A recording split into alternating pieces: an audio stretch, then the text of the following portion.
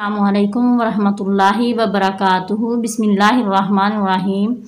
آج میں آپ کے لیے بہت ہی آسان اور مجرب نسخہ لے کر حاضر ہوئی ہوں۔ جو لوگ بچوں کے یا بڑوں کے گہرا زخم آنے کی وجہ سے اچانک بہت زیادہ پریشان ہو جاتے ہیں کہ خون بند نہیں ہوتا۔ اس کے لیے آج میں بہت ہی آسان نسخہ لے کر حاضر ہوئی ہوں۔ میری ویڈیو کو مکمل دیکھیں گے تو آپ کو نسخے کی سمجھ آ جائے گی۔ اگر کسی کے گہرا زخم آ جائے تو مکڑی کا جالا لیں اور زخم پر لگا دیں۔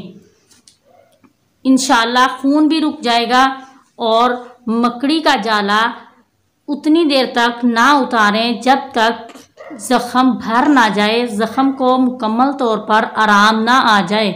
اتنی دیر تک آپ نے چمکڑی کے جالے کو زخم سے اتارنا نہیں۔